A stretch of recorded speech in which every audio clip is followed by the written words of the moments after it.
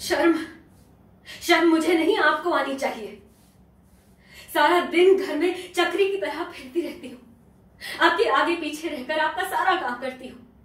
चाहे सुबह का नाश्ता हो या रात का खाना, अकेले सब कुछ करती हूँ।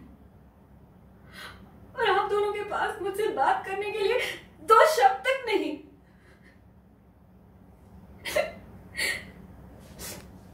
मैं जानती हूँ।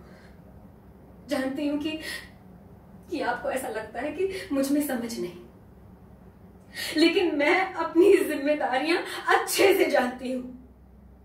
और इसीलिए आप दोनों का काम टाइम पर होता है, भले ही मेरा काम टाइम पे ना होता हो।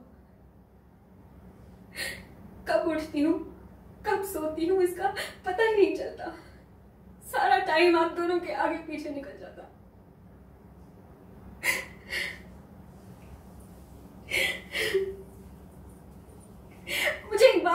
चाहिए जब आयुष को पीटीए मीटिंग में जाना होता है, तब आप जाते हैं, नहीं जाते तो समझता है ना वो?